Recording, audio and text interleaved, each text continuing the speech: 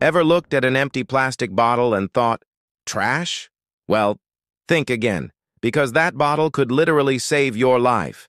Imagine you're stranded under the blazing sun, no clean water in sight. That bottle? It becomes your lifeline.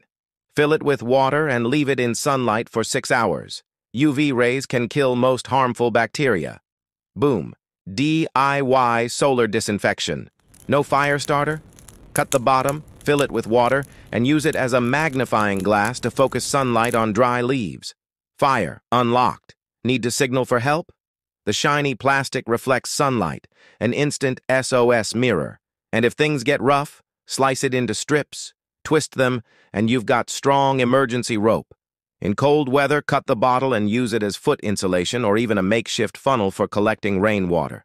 From shelter repairs to medical uses, like covering wounds to keep them dry, a single plastic bottle can be your ultimate survival ally. So next time you toss one out, remember, it's not just plastic, it's potential.